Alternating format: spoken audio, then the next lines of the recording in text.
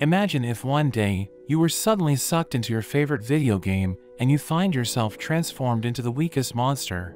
A monster so weak that you can't even beat a level 1 slime. We meet a boy named Don as he plays a popular VR game known as Azure Sky. His group hunts slimes for the game's 10th anniversary quest.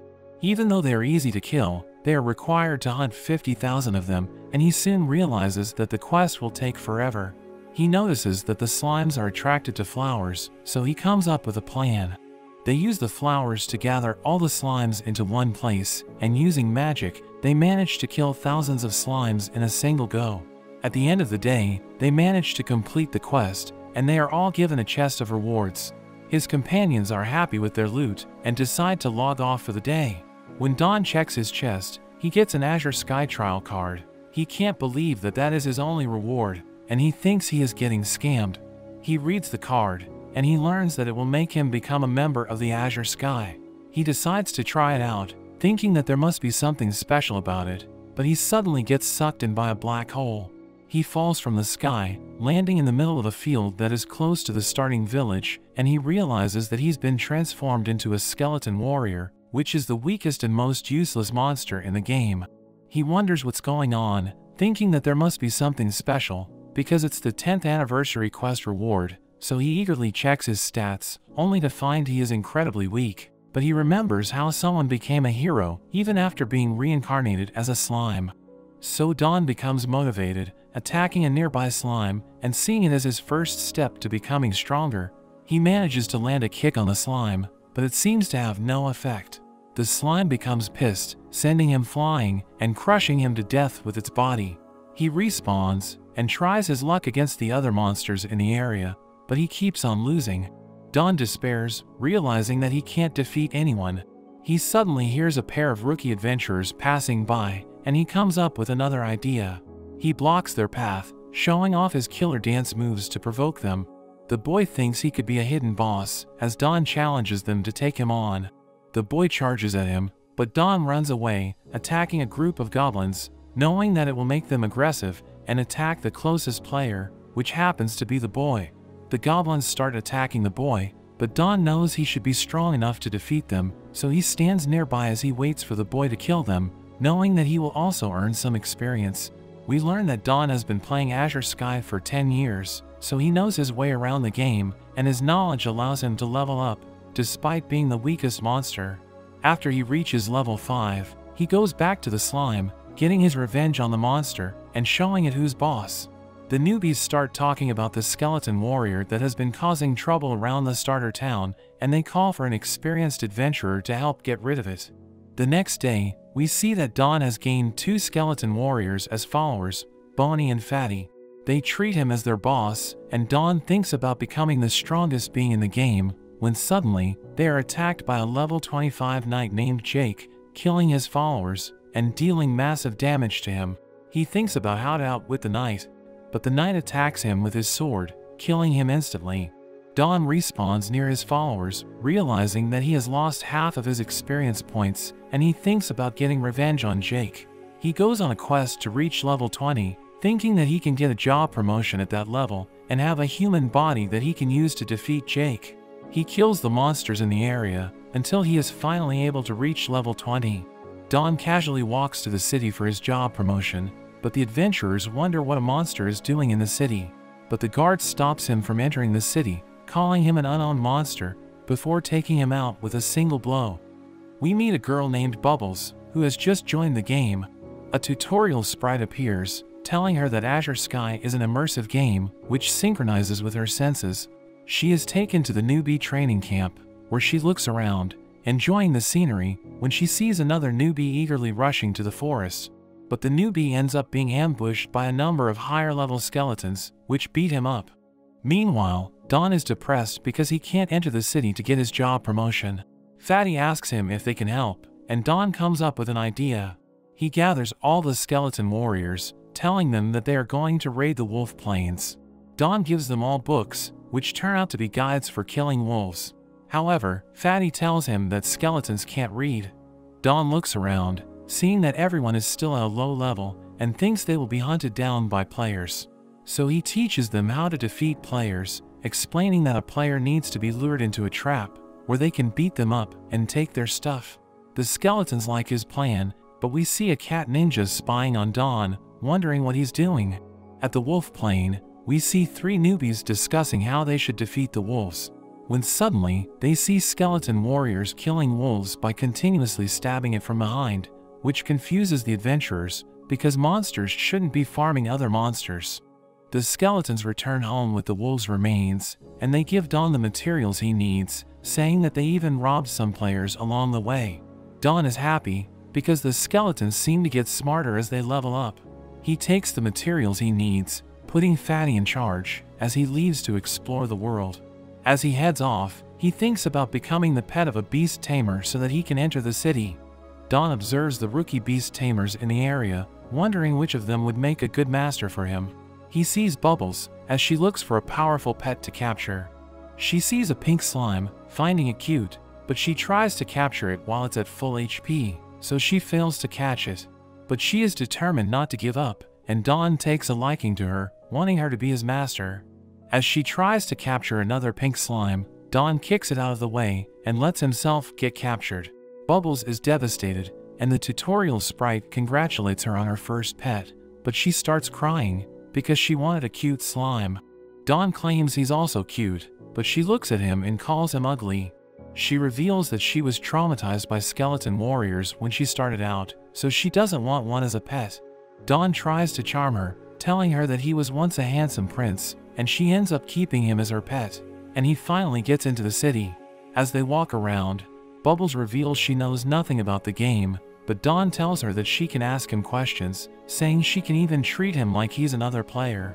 But Bubbles laughs at him, saying she can't treat him as a player because he's just a skeleton. However, Dawn claims that things will change once he gets his job promotion.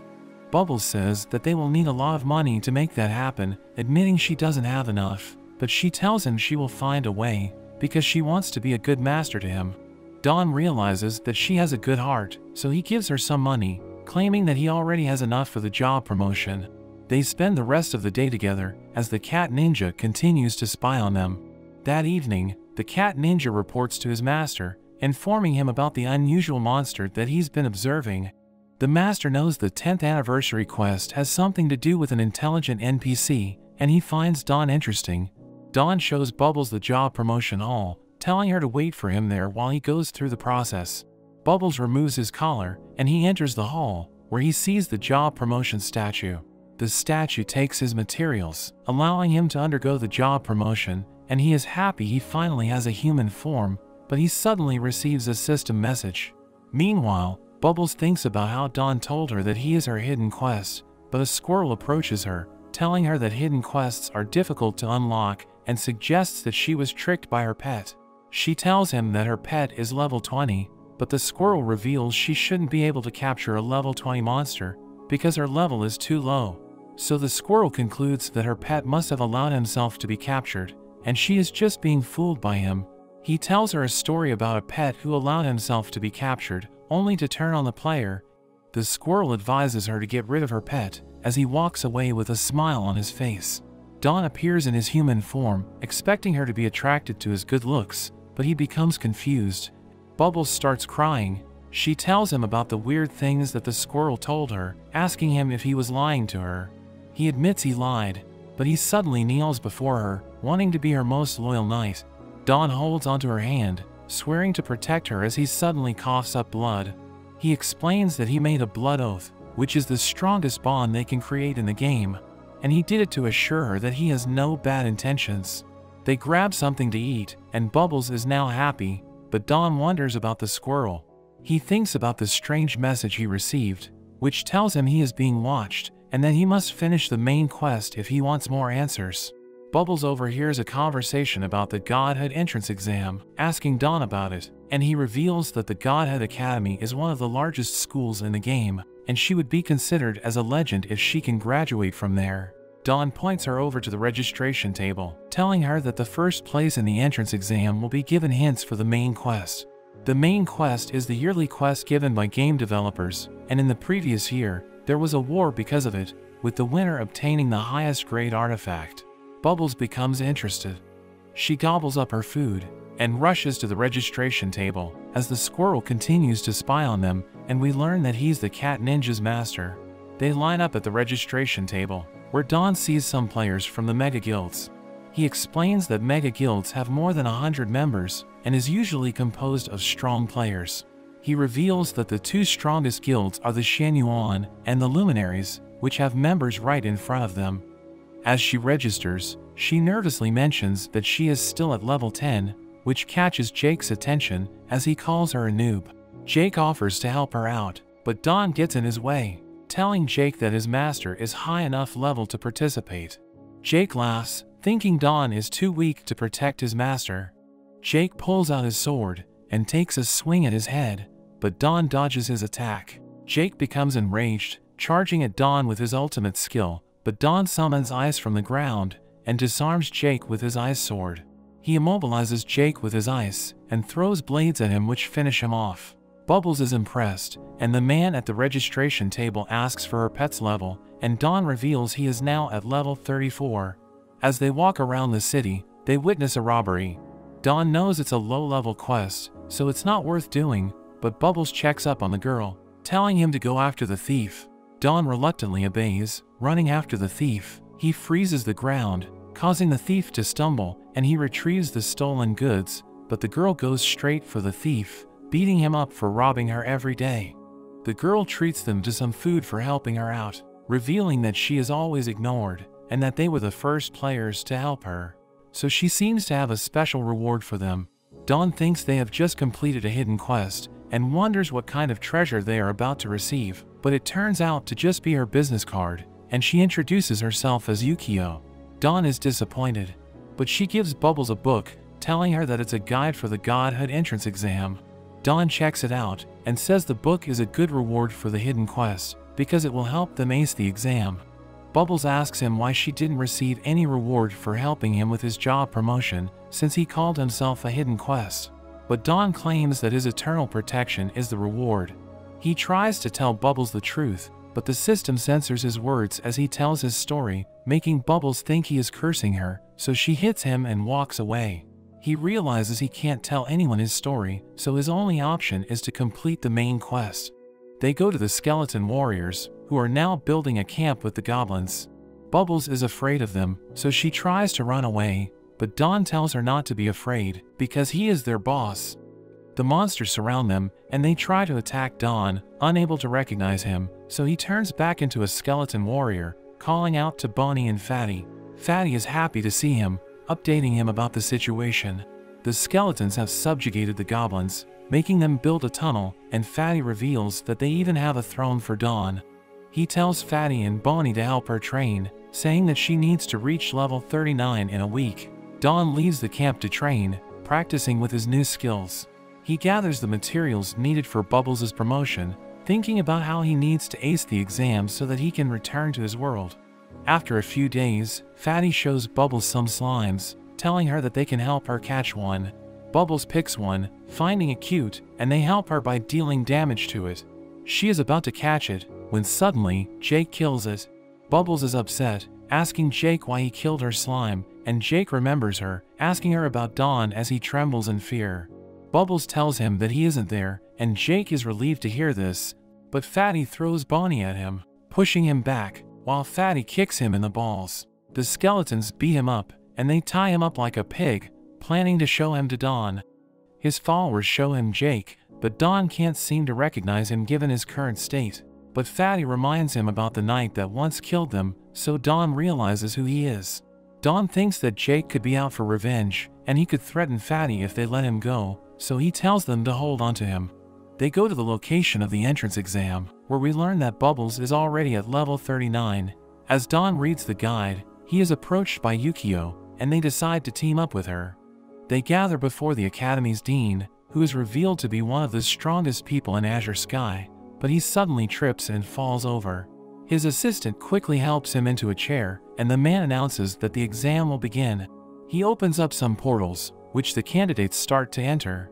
The announcer, Green Afro, reveals that the first round will take place on island, where the examinees must obtain three Phantom Martin pelts, complete three contraptions, and solve three magic puzzles. Completing two of the tasks will allow candidates to advance to the next round, but only the first 50 will be accepted. As the two candidates from the top guilds arrive, immediately forming a rivalry, everyone heads off to complete the tasks, and Yukio suggests hunting some Phantom Martins first. But Don knows it won't be easy, because everyone is already headed to the forest, so he thinks it's better to split up. Meanwhile, the cat ninja, Mushroom, receives orders to monitor Dawn. Dawn uses the manual to find the closest spawning point in the forest, and he sees a Phantom Martin, but it's too fast. But Dawn uses his magic to kill it, grabbing Green Afro's attention, and he is surprised to learn that Dawn is just a pet, but he's already at level 61. He uses the guide to find the monster's spawn points, allowing him to easily complete the quest. Meanwhile, we see Mushroom watching him, and he reports to his master Yiwu, who is also easily taking out the monsters. Mushroom wonders if he should try to stop Dawn, but Yiwu finds him interesting. Dawn suddenly surprises Mushroom, but just wants to sell him some pelts. He doesn't want to buy any, but Dawn pesters him, offering a discount. Mushroom tries to run away, but Dawn catches up to him, trying to convince him to buy the pelts. He does his best to escape, but Dawn persistently chases after him. Mushroom becomes exhausted. Dawn puts makeup on him and plays around with him before giving him some pelts and tells him to be more careful when spying on someone. Mushroom reports to Yiwu, telling him about what happened, and Yiwu orders him to tell everyone that Dawn is selling pelts. Meanwhile, Yukio and Bubbles struggle with the contraptions, since they appear to be missing a certain component. But at that moment, Bubbles receives loads of payment notifications, thinking that it could be because of Dawn, so she contacts him, asking him to explain what's happening. Dawn tells her that the other players paid him to help obtain some pelts, but he actually hoarded them all, offering them to the players at an outrageous price. Green Afro condemns his action, calling him a swindler, but he admits it doesn't go against the rules of the exam. As he pesters other players to buy his goods, the other skeletons are watching him, wanting to learn how to earn money, and thinking that their boss is so smart. Don assesses the situation, thinking that they are still in the lead even though he gave some pelts to the other players. So he carries on with his business, seeing some more players who are also looking for the monsters. Don offers them his pelts, but he soon realizes there is another guy who is doing the same thing. We learn his name is Beartrap, as Don accuses him of stealing his idea, challenging him to a fight. They both try to convince the players to buy their pelts, but neither of them are successful as the players walk away. Green Afro thinks that they are about to fight, but they suddenly decide to work with each other, realizing they have a monopoly over the pelt market. Meanwhile, the top candidate from the Shenyuan Guild named Ling has already obtained the Martin pelts, and he is making his way to solve the magic puzzles. His companion, Jan, is an enchantress, which is a particularly challenging job, so there are not many players that choose that path. At that moment, he encounters Sane from the Luminaries, who challenges them to a fight. Ling accepts his challenge, charging with his sword. Sane is pushed back, and Ling declares he is the winner because he is no longer in the circle. Jan solves the puzzle, and they move on to the next round. Elsewhere, the four lords of Shenyuan are monitoring Sane, thinking Ling did well dealing with him. One of the lords named Dozan laughs, contacting a woman from the luminaries and telling her that their top candidate is so weak. The woman claims Ling had help from someone outside their guild, but another lord named Sheng tells her she is free to do the same. But the woman tells them not to get ahead of themselves, since they are still in the first round, and ends the call. Meanwhile, Yiwu learns that Ling has passed, thinking he should deal with him in the second round. Don goes to his partner, informing him that someone has already passed the first round, but they don't care, because they're too focused on the profits. A rich girl named Cece learns that they have total monopoly over the pelts, so she goes to them, paying the other people in the line to let her pass. We learn that Cece spent 500 million gold to buy guild, and that everybody in her guild is paid at least 10,000 gold per month. She goes to Dawn, wanting to buy all of his pelts. Dawn knows she had 7 people in her group, so he offers to sell her 21 pelts, but at double the price. Cece says he would make a great merchant, agreeing to the price, and the two are overjoyed at the money they're making. As she walks away, Cece admits that she likes Dawn, wanting to acquire him if he makes it to the second round. They start running low on pelts, but Dawn thinks about how there should be enough pelts so that every player can get three, so he wonders why they don't have enough for everyone, thinking that someone else must also be farming the pelts. Meanwhile, we see Yiwu as he relaxes, and we learn that he has hoarded one component from the contraption challenge. Green Afro wonders if he plans on selling them to make money like Dawn, but he suddenly destroys them all and reveals he was also hoarding the pelts, destroying them as well, wanting to lower the passing rate for the first round. We cut back to Dawn, and we see the players discussing how they are getting scammed. Yiwu approaches them, telling them that they've been outwitted by a pet, and he suggests taking the pelts by force.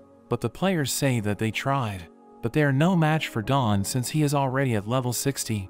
But Yiwu thinks that if they team up with the others, they might stand a chance. The players become determined to take him out, and they get other people to join them. Beartrap says they no longer have customers, and they see a group of players charging at them, so Dawn starts running away while Beartrap jumps on his back. He quickly reaches Bubbles' location, running right past them, and Bubbles joins in, asking Yiwu why they're chasing after him. Yiwu tells her how he was extorting people, and says his master did a bad job raising him. So they are also going to go after his master, which causes her to worry, running away and wondering what she should do. Dawn struggles to run away since Beartrap is slowing him down, so he throws his partner to the ground, as the other players surround them. They attack Dawn, but he manages to dodge their attacks. Three players jump at him, but Don uses a technique he was saving, which freezes the whole area and blows them all away. Yiwu approaches and laughs at the sight, thinking it's been a while since someone surprised him. He contacts Mushroom, ordering him to track down Don, who runs back to his master with Bear Trap. Yukio reprimands them for causing a mess while she was busy trying to complete the contraptions. They apologize to her, and she orders them to look for the missing component, but Dawn knows that it could be impossible, wondering if there's an alternative. Yukio sees a strange component, which Bubbles explains she damaged but tried to fix. But this actually gives Yukio an idea. She thinks about reassembling the components to complete the contraptions, while Yukio starts working. Dawn plans to distract the other players. Mushroom sends Dawn's location to Yiwu, as he reveals that Dawn's teammates are building the contraption, and Yiwu orders him to bring people over to them. Meanwhile, Dawn is hiding from the other players, wondering why they can keep up with him despite his superior speed. Meanwhile, Dawn's teammates are busy assembling the contraption, but Mushroom arrives with a group of players, telling them that Bubbles is Dawn's master. Dawn uses his ultimate skill on the players, but this ends up draining his mana. He defends himself against them, and the players realize that he has run out of mana because he is no longer using his freeze spell. They use this opportunity to attack him with their skills, and it looks like Dawn is about to be defeated, but Yiwu suddenly arrives to save him. Yiwu asks him to become his pet in return for saving him, but Dawn tells him he is already taken. Yiwu calls his master a noob, as he uses his skill to restrain the other players, but Dawn tells him that it's none of his business. Yiwu says he's running out of patience, and he teleports away, leaving Dawn to the other players, as he thinks about destroying him since he can't have him as a pet. Meanwhile, the group of players demands for Bubbles to hand over Dawn, so Bubbles decides to summon her pet, but it turns out to be her pink slime called Blobby. The players feel humiliated, looking down on the slime, but Bubbles claims her slime is stronger than they think as it suddenly transforms, gaining a massive body, and it's revealed to be level 55. Everyone is shocked seeing this, and Bubbles finds its new form adorable. Bubbles sends her slime to attack, but we cut back to Dawn, who is getting jumped by the other players. Yiwu thinks it's all over for him, as he laughs like a villain, but Dawn has a final technique, and he just calls Bubbles and tells her to recall him back to the pet dimension allowing him to dodge the attacks, and he taunts Yiwu as he disappears. The players turn their attention to Yiwu because he attacked them earlier to save Dawn, so they end up beating him up. Meanwhile, Bubbles just enjoys the show as she just watches Blobby take out the players, and Dawn returns to join the group. Bubbles announces his arrival to the other players, and they all get scared and pretend they are suddenly busy. The group goes on to collect parts, and Yukio ends up making the contraptions. At that moment, a girl suddenly appears, and Dawn prepares for a fight, but Beartrap quickly stops them, saying that it's just his wife Sue, who came to find him after solving the magic puzzle, while the group is shocked he has a hot wife. Sue gets mad at him for disappearing on her, and she beats him up, while the others watch on. Sue rides on Beartrap's shoulder, and she detects there is a tracking spell on Dawn. She helps him remove it, and Dawn wonders who could have put it on him, thinking back to when he was messing with Mushroom, and realizing that he was the culprit. Mushroom approaches with more players, but the group hands in their items and advance to the next round. Green Afro notes that they are the second group to make it to the next round, and they are transported to an island where Sprite tells them they can relax while they wait for the first round to finish. The group splits up, and Dawn takes the chance to relax, wondering what they will need to do in the next round. Bubbles joins him, and they admire the view together, but they get approached by a man who tells them Cece wants to talk to them. Cece immediately asks Bubbles if Dawn is for sale, offering her 500 million gold. But Bubbles drags him away, saying she still won't sell him but this only makes Cece want him more. They are joined by the rest of their group, and Bubbles tells them the situation, but Beartrap is also interested in the money, wondering if Cece would want to buy him as well, but his wife gets mad thinking he wants to work for another woman. At night, Green Afro congratulates everyone who passed the first round, and reveals the rankings of the players. Green Afro introduces the next event, and it turns out the second round is going to be a game of werewolf. He explains that during the game, there are day and night phases. In the day, players are given identity cards, and at night they are allowed to attack each other. There are three different identities, the werewolf, detective, and villager. Werewolves have increased attack at night, while detectives have the ability to check another player's identity, and they must try to protect the villagers. When a player is defeated, their points are given to the winner, but if a player accidentally attacks someone on their own team, they will be penalized and lose half their stats. The starting points are based on the results of the first round, and each of the players is given their card. We see Bubbles got the detective card, and Dawn tells her to investigate Mushroom because he has a grudge against him for putting a tracker on him in the last round. We see Mushroom has the werewolf card, and he looks around for a victim, but Dawn and Bubbles approach him with an ominous aura. Mushroom can't attack, in case they are on the same team, and Bubbles starts petting him. Dawn tells him he found out about the tracking spell, but Mushroom plays dumb. With no other choice, Mushroom activates the ability of his card, which doubles his attack stat. He attacks with his knife, but Dawn easily blocks it, saying that even with his attack doubled, he is still no match for him, and he ends up getting frozen by Dawn. They make him wear a dress, and they take pictures of him, but he can't handle the humiliation, and he tells them to just kill him. So Dawn sends Blobby to finish him off, and she crushes him to death.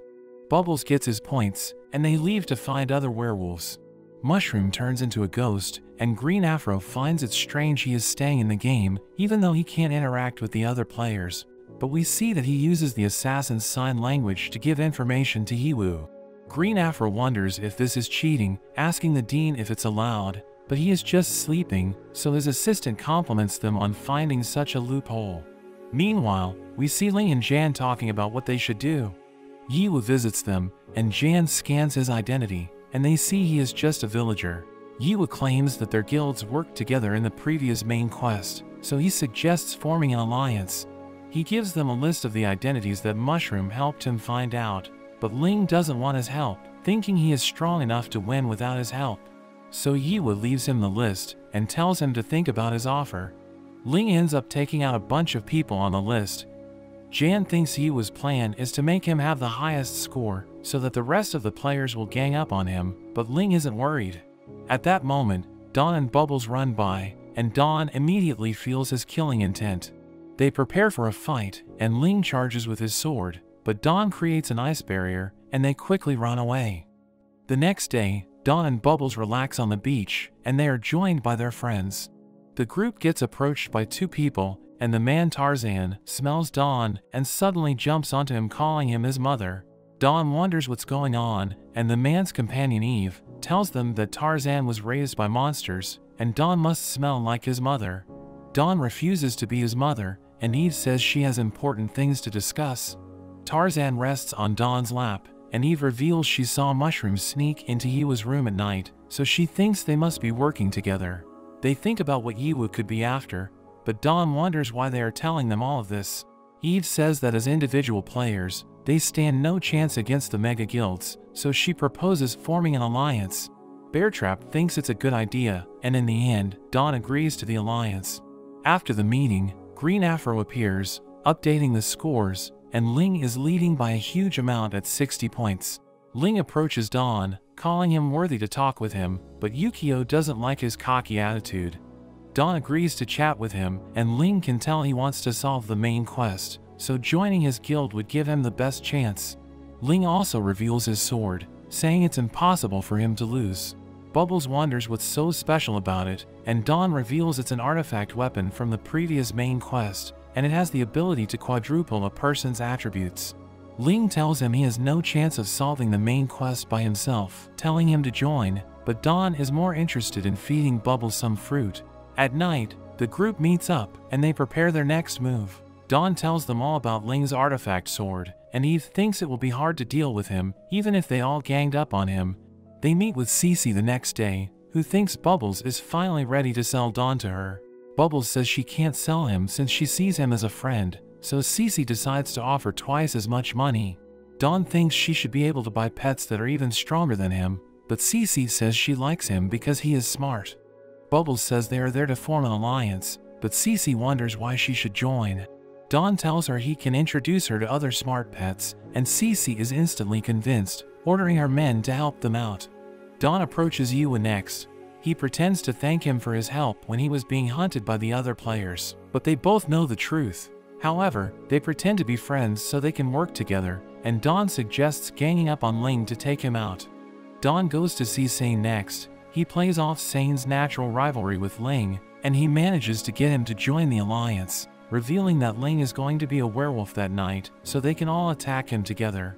At night, Dawn and Bubbles approach Ling, who calls them bold for approaching him, but Bubbles says they are not alone, summoning her allies.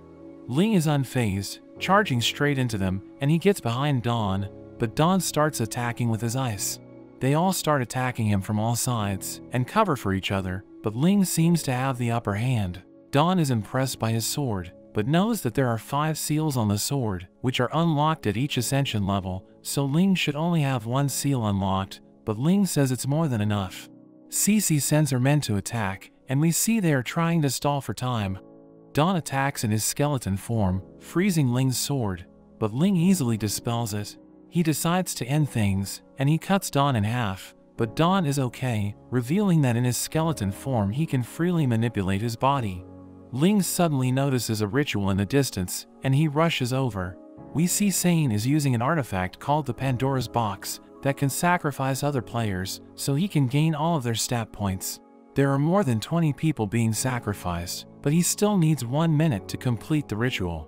Ling charges at him, but he is stopped by Yiwu, who tells him he should have formed an alliance with him when he had the chance. Yiwu attacks him, along with Bear Trap. The other group rushes over, but Ling throws his sword at Sane. But Bubbles manages to summon Blobby just in time, and it's just enough to stop the sword. Sane's ritual completes, and he gains overwhelming power. Sane is excited to get his revenge, charging at Ling, but Ling claims he is just a priest, so even with the stat boost, he still can't win. But Ling suddenly gets stabbed from behind, and he gets low on health. But he activates his trump card, unsealing the power of his sword, and activating his Shadow Lotus form. Green Afro notes that together with the werewolf ability, Ling now has 8 times the attack. Ling starts dominating the fight, easily blowing everyone away. He creates a lotus in the sky, which causes damage to everyone around with its petals. But the attack is stopped by Sane, revealing another artifact known as the Ever Soul, which has the ability to store a technique for him to use. Sane copies Ling's Shadow Lotus form, and Ling thinks he won't be able to use it as well as him. They exchange blows, and Dawn helps Sane out, but Ling quickly returns and stabs Dawn in the chest. It looks like he is going to die, but Dawn starts healing as Bubbles shares her HP with him. Dawn grabs onto Ling, and Sane delivers a finishing blow, and Ling is defeated. Meanwhile, the Luminary's representative gloats about winning to the four Xianyuan elders. They tell her not to get cocky, because they will get even during the main quest. The players all celebrate their win, and Green Afro appears, with an update to the scores. Yiwu turns out to be in first place, and it seems that after Sane took out Ling, Yiwu ambushed him and took all his points. Beartrap wonders how it's possible, and Dawn explains that Sane's Pandora's box leaves the user weakened for 48 hours. Yukio thinks Yiwu will be in hiding since he's ahead. But Dawn points out that if they added all their points together, they would have the same amount of points as him, so he is sure Yiwu will try to attack them. Beartrap checks Yiwu's identity, and they learn he will be a werewolf that night. At night, Dawn and Bubbles confront Yiwu. Dawn pretends they are still allies, but Yiwu instantly starts attacking them. He aims for Bubbles, but Dawn protects her. Yiwu gets pushed back, and Dawn tells him Bubbles is also a werewolf, so he will be punished if he kills her. But Yiwu doesn't believe him, because if she was really a werewolf, Dawn wouldn't need to protect her. He activates one of his skills, and when Dawn tries to stop it, he is trapped in a cage. Bubbles tries to run, but Yiwu catches up to her, so she summons Blobby to protect herself. Blobby attacks, but it ends up being controlled by Yiwu, who tells her that manipulation is a basic skill for assassins. Blobby starts attacking her, and Dawn tries to get out of the cage using his ice. The cage ends up shattering, and Dawn freezes Blobby. Bubbles quickly recalls Blobby, while Dawn fights with Yiwu. Yiwu's blade turns into a chain, and Dawn ends up getting stabbed. Yiwu thinks it's over for him, but Dawn suddenly transforms, shooting his arm that goes right through Yiwu. Dawn reveals that as a skeleton, his body is hollow, so being stabbed barely affects him. Yiwu's body transforms into a substitution, and they hear his voice laughing at them. Yiwu attacks with his chain blade, but Beartrap and their other allies appear to help them.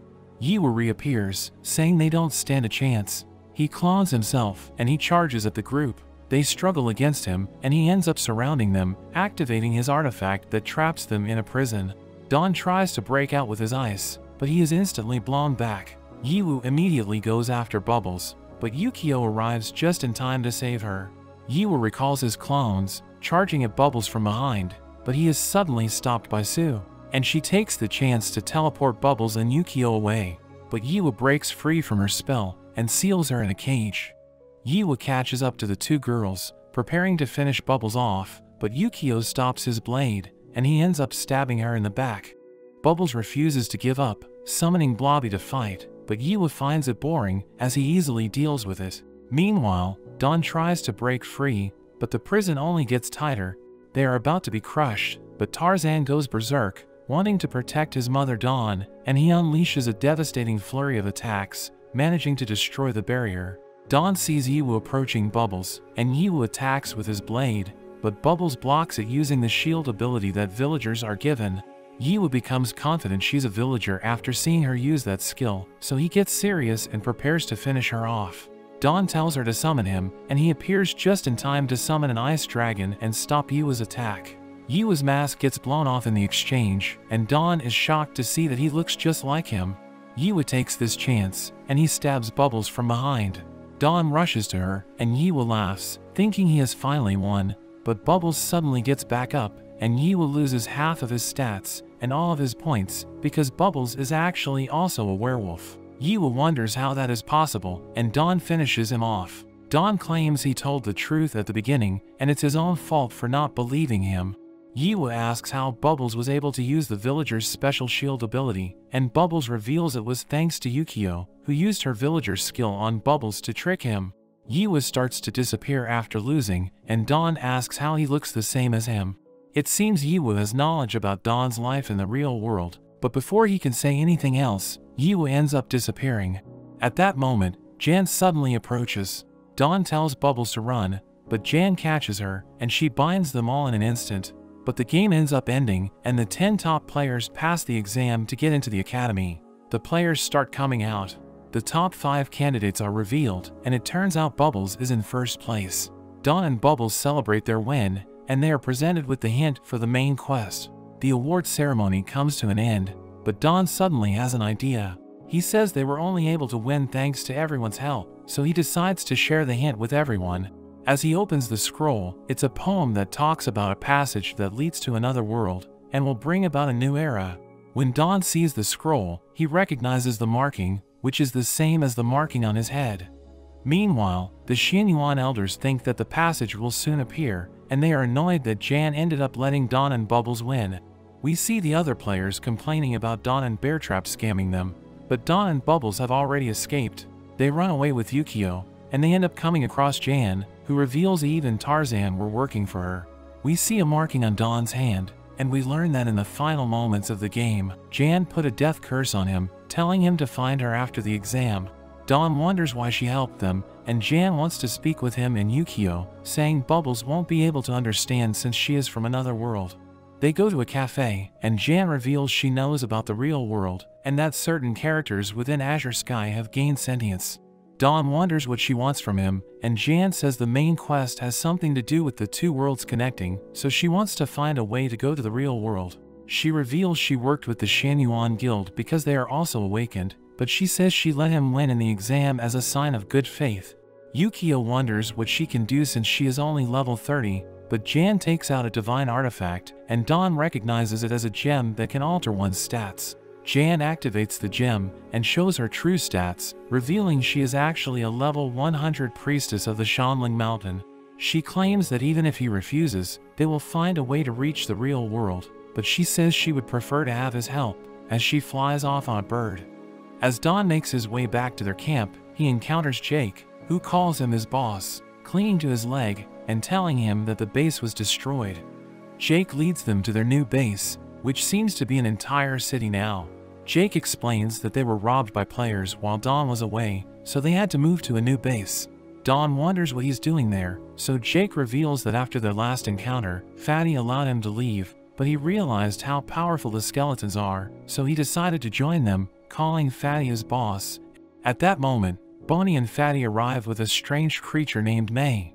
Bubbles finds him cute, but he suddenly dashes to Don, clinging to his head, as he starts calling Don the boss. Fatty reveals that May is one of them, and Don orders Fatty to give his report, so he tells Don that they were able to improve themselves as planned. However, they are all stuck at level 60 because they can't enter the main city to change jobs.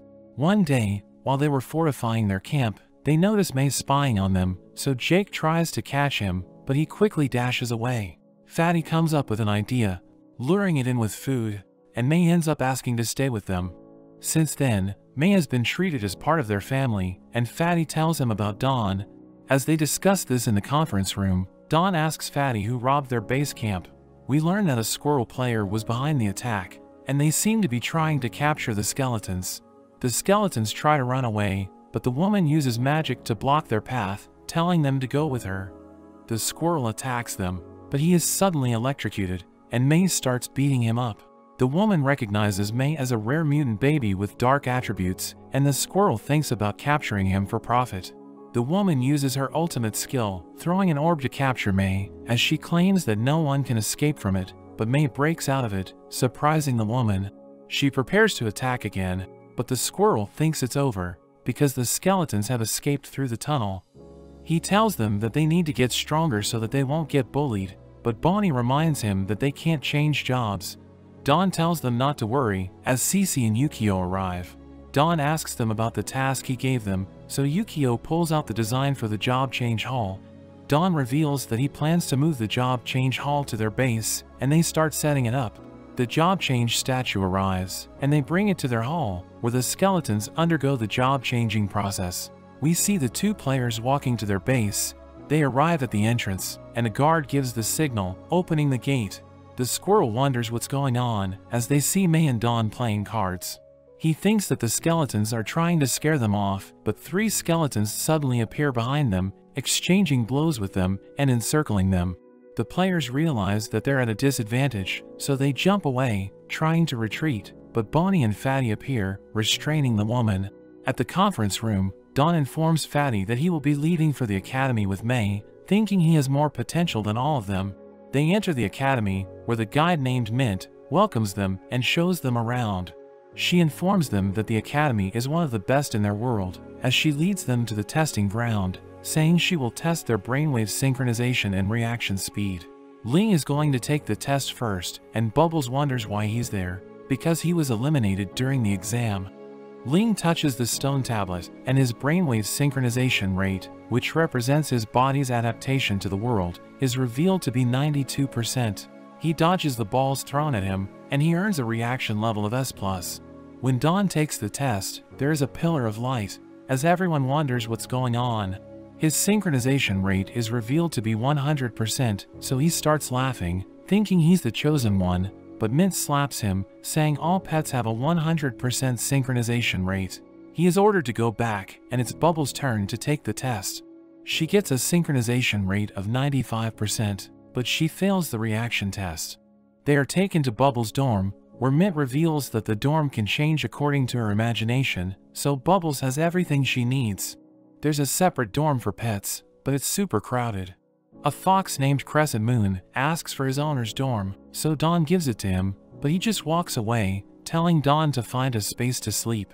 Dawn tries to leave, but a barrier repels him, as Crescent Moon tells him they can't escape unless the owner picks them up. However, May hops out of a small opening, breaking the seal from outside, and Dawn rushes to leave as the other pets scramble to escape. The following day, Bubbles wakes up, and she makes her way to Dawn, but as she opens her door, she encounters Mint, telling her that Dawn is in big trouble. She goes to the Vice Dean's office, where we see Dawn and May trapped in a barrier. The Vice Dean reprimands them for causing trouble during their first day. They implore him not to expel them, saying they are willing to accept punishment. At that moment, Cece enters the office. She offers to pay for the damages, but the Vice Dean refuses, telling her to follow the school rules but he decides to give Dawn a second chance, so he breaks the barrier, ordering Dawn to recover the pets that are running rampant. Beartrap and Sue arrive at the academy, which is now filled with animals. They see Dawn facing a kangaroo, as the kangaroo launches a flying kick, but it ends up getting caught. The vice principal is impressed, because Dawn was able to resolve the problem in less than a week. After that, they reunite with Beartrap, and Bubbles wonders what their mentor will be like. Their mentor joins them, and we learn that she is a five-time job changer named Quinn. Quinn informs him that there are still two pets at large, saying he should have taken care of them before he went to her. She shows them the pets, saying one is called Nether Ghost, and the other one is Crescent Moon. Quinn knows that they are difficult to deal with, but she wants Dawn to catch them. After some time, Bubbles learns that Nether Ghost is also a five-time job changer. Beartrap remembers that Nether Ghost was involved with the 8th main story quest where he and his owner caused some trouble. The group meets up with Ling, and they inquire about Nether Ghost's owner. Dawn knows that his owner hasn't been online since the last main quest, asking Ling if it's because he harassed Ling's guildmate Tai. But Ling denies this, saying he knows what happened. Nether Ghost joins the conversation, revealing that he has kept a video of the events in his horn. He shows it to everyone, and we learn that Nether Ghost inhabits a certain island, where he frightens the players who are working on their quests. We meet a boy named Shen, who turns out to be his next target. Nether Ghost scares him, causing him to fall to his knees and start crying, but Nether Ghost finds him weird, because unlike other players, he didn't try to run away. Shen takes a liking to him, and Nether Ghost inquires about Shen's background. He reveals he is a sick teenager. They become good friends, but after some time, Shen reveals that he'll be leaving soon, because the doctor told him that he doesn't have much time left. Nether Ghost orders Shen to capture him as a pet, and they set off on a journey together as they experience all the pleasures that the world has to offer. Shen tells him that death in his world is permanent and that he still isn't ready for it because he's too young to die. Nether Ghost is determined to make everyone know about Shen, planning to secure the number one spot in the main quest for him. We see Nether Ghost going against the other players during the main quest, holding onto the key as the players try to take it from him but he bumps into Tai. He knows that she's a threat, but he still tries to fight her, and he ends up being restrained. At that moment, the dean arrives, telling her to let him go, so she walks away, and the vice dean sets him free, telling him to go back to Shen. Nether Ghost finds Shen in a weakened state, as Shen tells him that he is happy to spend his final moments in the game with him, but Shen's body starts to disappear, Shen tells Nether Ghost that he still wants to spend more time with him as the Dean appears, revealing that Shen's consciousness has been preserved, so there is still a chance to bring him back to life. He tells Dawn that he doesn't want to return to the pet dorm, asking Dawn if he can work for him instead. We see Crescent Moon in a classroom, taking notes as the teacher gives a lecture about success. The teacher tells them that they need to learn from the people on top, as she shows them a picture of Dozon, calling him the strongest man alive. The group gathers outside the classroom as Nether Ghost tells them that Crescent Moon is dangerous, but Dawn says he just wants to chat. Dawn offers to help him out if he returns to the dorm, but Crescent Moon suddenly exudes his aura as he tells Dawn that humans can't be trusted. Dawn wonders how he knows about humans as he covers the room with dark energy. We see Dawn fighting Crescent Moon, who calls humans weak as he proceeds to give Dawn a beating. Dawn unleashes his skill, and his friends join the fight. They combine their powers, and they clash with Crescent Moon, but Crescent Moon escapes. Beartrap wants to pursue him, but Dawn stops him, saying they can't win against him. We see Crescent Moon staring at the sky as he mentions the name Juju, but May suddenly appears, asking him about the name. May sits with him, and he asks May about the outsiders. May tells him that the outsiders are actually good people, but Crescent Moon calls him lucky, saying there are also bad people. In a flashback, we see Crescent Moon imprisoned in a cage as an old squirrel tries to sell him. The buyer named Tiger wonders about the price, but the squirrel tells him an outrageous number. He reveals that he doesn't want to spend money to buy what he wants, and he tells the squirrel to get lost. And since then, his life has been filled with suffering as Tiger constantly abused him, forcing him to become an assassin. One day, after he eliminates his target, he stumbles upon a girl named Juju, who is new to his master's guild. Juju wants to learn from him, but he tells her to leave, refusing to train her. However, she chases after him, and she falls over, telling him to wait for her, because she can't run anymore. He helps her up, and they end up becoming friends. He starts training her, and she tells him that she knows Tiger in the real world. Crescent Moon asks her about the real world, so she explains it to him and he learns about the other side. He enjoys spending time with her, but she eventually disappears, making him fall into despair. Back in the present, May shares this story to Don and his friends, and they all wonder what happened to Juju. Cece joins them, telling them that she has done her research, and she reveals that Juju has probably passed away. At that moment, Crescent Moon appears, asking Cece if she is sure about this. We see her holding onto Juju's death certificate, telling him that Tiger got drunk one night. Crescent Moon starts crying, wondering why Tiger is still alive, but Cece assures him that Tiger has already been arrested, so he's going to be brought to justice. Hearing this, Crescent Moon decides to return to the dorm, and Dawn's group reports to the vice dean, telling him that they have accomplished the mission. The vice principal tells them that he has a new assignment for them, revealing that there are a few hidden quests in the script town. He wants them to go there as the new student representatives. He gives Dawn and Bubbles some Class A equipment, as well as a scroll which contains hints for the hidden quest. We see Dawn's party arriving at Script Town, and they check out an old hotel. They meet the owner, and she gives them a scroll, telling them to follow the rules, and turn the place into the most popular hotel in the area. Dawn thinks the quest is going to be easy, giving the scroll to Cece, but upon reading the rules, she realizes she can't use her money. Dawn accepts the quest, so the owner shows them around, but it turns out to be haunted. He is suddenly transported to a room where a girl tries to entice him, but he returns to his skeleton form, causing her to become scared. He tells her that they're both skeletons, so there's nothing to be afraid of. Cece and Jing enter a room where they encounter a zombie, but Jing tells her not to worry as he charges at the zombie, beating him into submission. After some time, the group gathers together, as Dawn tells the ghosts that scaring people is bad for business. As they clean the place up, they get the ghosts to help them as punishment for trying to scare them. Dawn finds a picture while cleaning, thinking the girl in the picture is the owner. So he approaches her, showing her the picture he found while cleaning.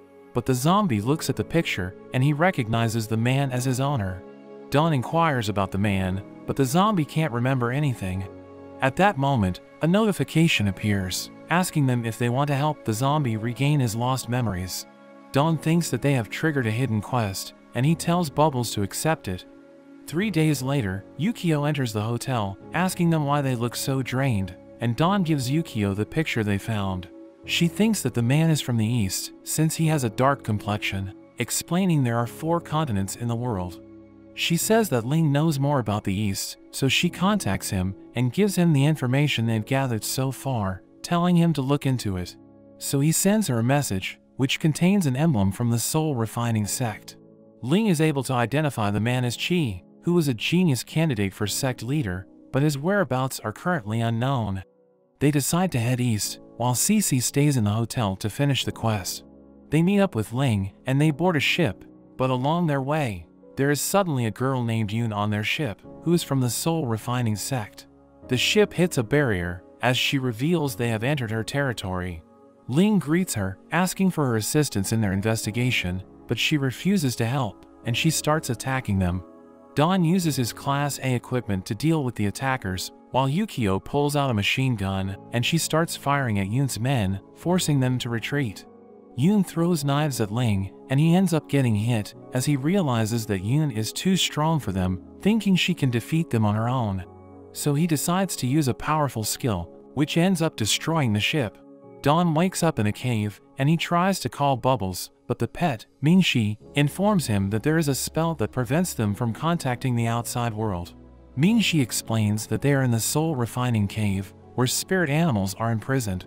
Yoon reports to the sect master Jia, saying they are still trying to track down Yukio and Ling. Jia is disappointed in her, asking her how she messed up, and she recalls how Bubbles claimed her after the ship was destroyed. Bubbles appears before Jia, and she says that she will go offline if they don't release her. Jia thinks that Bubbles is the girl from the prophecy, so she orders Yoon to remove the restraints and allow Bubbles to join the celebration. Back in the cave, Mingxi reveals that his honor is from Chi's tribe. We learn that there are two tribes in the soul refining sect, and the tribe led by Jia wants to refine pets for their own use, while Chi's tribe wants peaceful coexistence with the pets. Because of their differences, there was a civil war between the two tribes, and Chi ended up losing. Don thinks that Chi's disappearance is connected to the civil war, and he meets the black tortoise, which is one of the four spirit animals of the east. Bubbles summons Nether Ghost and orders him to search for Dawn. We return to Dawn, who wonders why the black tortoise is locked up, because he's supposed to be one of the state's royal protectors. The tortoise wakes up, and he looks down on Dawn, thinking he's too weak to be in the cave. But the tail starts talking to him, telling him to forgive his little brother because he's not in a good mood. The tail reveals that Jia is about to refine and absorb them using her technique. Dawn wonders how he can free them from the restraints, and the tail reveals that only someone like Nether Ghost can do it. We see Nether Ghost lost in the woods, where he sees Ling and Yukio being pursued by Yoon's group. Yoon prepares to attack, but Nether Ghost stops her and informs Yukio that Bubbles is in the cafeteria, telling her to go there while he holds them off. Ling and Yukio are able to escape, and Yoon tries to attack Nether Ghost, but none of her attacks are working as she realizes that he's using space powers, so she calls for help. A man named Guan makes his entrance, using a net to capture Nether Ghost and sending him to the cave.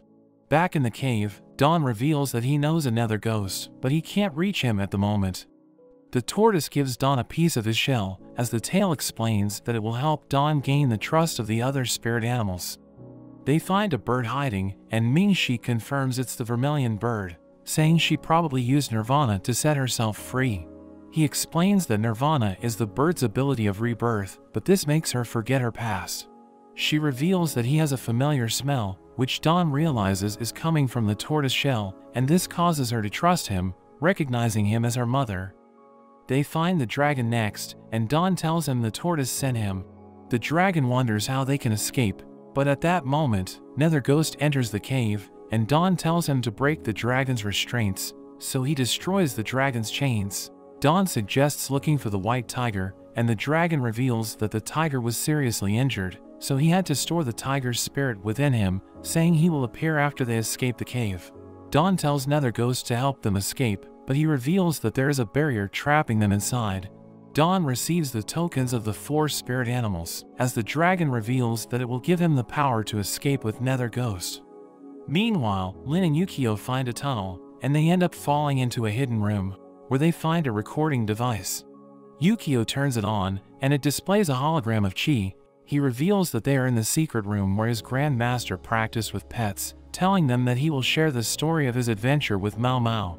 In a flashback, we see Chi on a beach as he dreams about leading the island to go on adventure, and he sees a girl lying on the beach, knowing she is an outsider. He approaches her as he realizes that the soldiers are on their way, so he summons his pet, Ajin, ordering him to carry the girl to safety. When she wakes up, he explains she somehow ended up in the soul refining island, but she thanks them for saving her, introducing herself as Mao Mao, and saying she needs to leave the island. Chi tells her that the island is surrounded by a barrier, but it will disappear on the day of the trial. She tells him about the outside world, saying it's filled with all kinds of treasures and exotic animals. But Chi becomes sad, because he isn't allowed to leave the island, revealing that the trial is the only time he can leave. He tells Mao Mao about his plan to become the sect leader, revealing that he doesn't know what to do after he achieves his goal, so she invites him to open a hotel with her. Six months later, Jia announces that it's time for the trial, informing them that it will last for six months. Yoon approaches Chi, inviting him to join her during the trial, but he declines, saying he's going to have a date with someone. Chi joins Mao Mao during his trial, and they enjoy their time together as their relationship deepens. Meanwhile, Jia attacks the sect leader, who is surprised by her sudden betrayal. We return to Chi and Mao Mao, who have just finished setting up the hotel, but Mao Mao wonders why they still don't have customers. She thinks it's because Ajin is scaring them away, so she suggests turning it into a horror-themed hotel, thinking it will attract customers. But after some time, we see Yoon restraining Chi as she informs him that the leader is dead and that Jia has risen to power. She tries to kill Mao Mao, but she blocks it with a barrier as Yoon realizes that she is from the royal family and she is holding onto a treasure that gives her power. But Yoon thinks that not even the royal family can stop them and she puts a curse on Mao Mao, telling her that she will age and forget everything that happened. Yoon tells Chi to return with her, saying she will beg her master to let him stay, but he refuses her offer and he uses the soul shifting technique, which transfers his consciousness to his pet. Her companion is about to go after ah Ajin, but she stops him, ordering him to take Chi's body.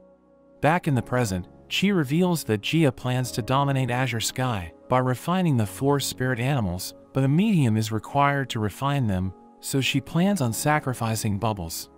We see Yukio and Ling in the woods, where Yukio asks if he can summon his guild for help.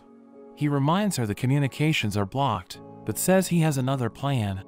Before they split up, she thanks Ling for his help, and he tells her that he's doing this because they're friends.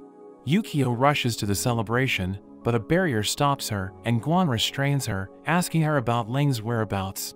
But she refuses to answer his question, so he proceeds to torture her. Dawn suddenly arrives to save her, ordering Nether Ghost to take care of her, but Guan tries to trap them, so Dawn uses his powers to break free. Dawn gets hit by his attack, and Guan believes that he is already dead. So he makes his way to Yukio, preparing to finish her off, but Dawn stabs him from behind. Guan realizes that Dawn used the dragon's scale to heal his wounds, and Guan praises his tactic, admitting that he has lost. Dawn checks up on Yukio, who tells him that she needs time to recover, so he should rescue Bubbles without her, giving him the scroll from the secret room. The celebration begins, as Jia appears before everyone. Jia opens a portal, calling forth the four spirit animals, and she throws Bubbles to them, preparing to sacrifice her to refine the beasts, but Dawn interrupts her. Nether Ghost disables her spell, and he sets Bubbles free, but Jia stops him before he can reach the beasts. However, he uses his tail, causing the portal to collapse and allowing the beasts to escape. They try to take her down, but she is able to defend herself, and Dawn is surprised that she can hold her own against the four spirit animals. The tortoise grabs onto her as the dragon attacks, but she breaks free, lifting the tiger and sending him crashing against the tortoise. She charges at the dragon, knocking him down and telling them that resistance is futile. She prepares to refine them, but Dawn stops her, so she charges at him, but she gets surrounded by mushrooms. He makes his way to the defeated beasts, telling them that he learned the secret technique of the soul refining sect, and asking them to lend him their powers. They decide to trust him, and they combine their powers, transforming their bodies into a powerful set of armor. But Jia doubts that he can control the power of the beasts, and he realizes that he's being influenced by their consciousness, so he becomes distracted. She tells him that he'll never be able to use their powers unless he erases their consciousness, and she charges at him, but he pushes her away, and they proceed to exchange blows. She grapples with him, telling him that he has potential, but his body has already reached its limit. She overpowers him, and she launches an energy ball, blowing him away. He tries to retreat, but she chases after him and manages to take him down. The bird suggests retreating, thinking Dawn doesn't stand a chance, Jia proceeds to strangle Dawn, telling him that he'll never understand her misery. Bubbles joins the fight, and Dawn is surprised to see her, asking her what she's doing. She tells him that he has done so much for her, so she wants to protect him. Jia charges at Bubbles, but she blocks the attack, revealing that she is wearing the gloves given to her by the vice principal, which has the ability to trap people in their memories. In a flashback, we learn that Jia is the least gifted in her tribe, so her peers treated her harshly, but she had a pet which kept her company. Her tribe was having a dispute with Cheese Tribe, and things escalated when they created their method of refining. Her master orders her to refine her pet, so she runs away, going to Cheese Tribe to seek refuge, but they refuse to take her in because they don't trust her and her pet ends up betraying her. Because of this, she realizes that she can't trust anyone thinking she will be abandoned if she's weak, so she starts wandering alone and she stumbles upon the valley of poisonous beasts.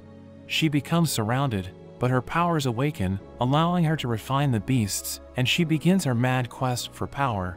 Back in the present, Jia realizes that Bubbles pried into her memories, so she becomes upset, unleashing her powers.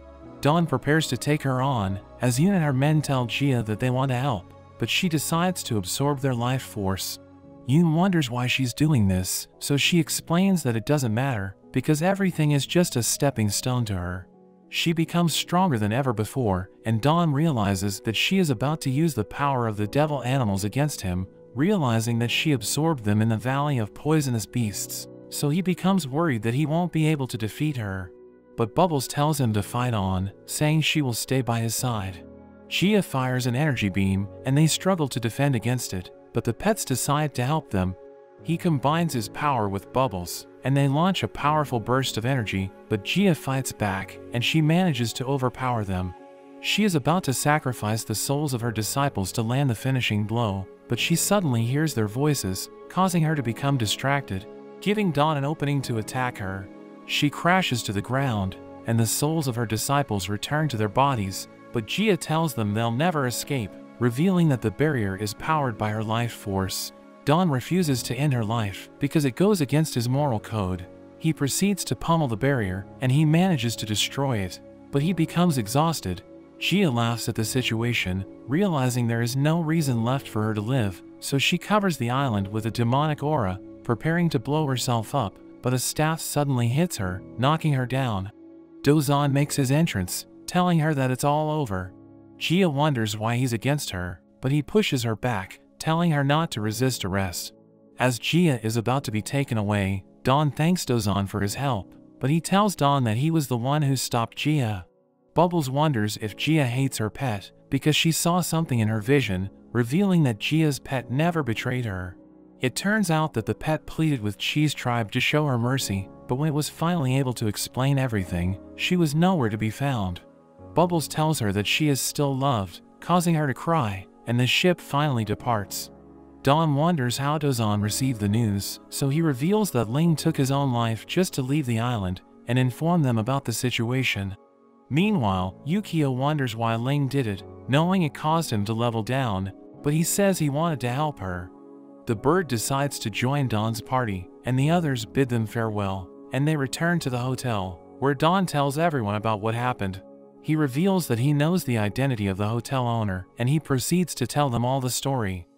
Yoon enters the hotel. She explains that she saved her in the past, so she wants to repay him. She opens a box, releasing Chi's body, and she reveals that she kept his body safe, knowing this day would come. She regrets putting a curse on Mao Mao, saying only the scale of the dragon can undo the spell, but Dawn tells her that they are in luck. Mao Mao and Ajin join them, as Dawn uses the dragon's scale, lifting the curse and allowing her to regain her youthful appearance. Chi's consciousness returns to his body, and Mao Mao realizes that he was with her all this time. He tells her that he'll never leave her, as a notification appears, revealing that the quest has been completed. Mao Mao thanks Dawn, and she gives him her necklace, saying it has always kept her safe. He gives Bubbles the necklace, thinking it should protect her. She takes the necklace, and she holds it with the tokens from the spirit animals, thinking they are all related. The items glow brightly, and they suddenly disappear as Bubbles is absorbed into a portal. Dawn reaches out to her, but he finds himself in a strange area where he sees a gate marked by the symbol, and it seems to lead to the other side. But that's where this video ends. Remember to like and subscribe to the channel. Thanks for watching, and I'll see you next time.